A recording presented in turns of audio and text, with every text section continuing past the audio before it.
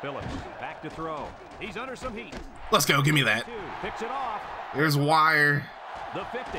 Down the sideline. Huge pick. Like the quarterback was rattled by that pressure. Well, let me tell you, the best ones will sit there and take a hit and make the throw.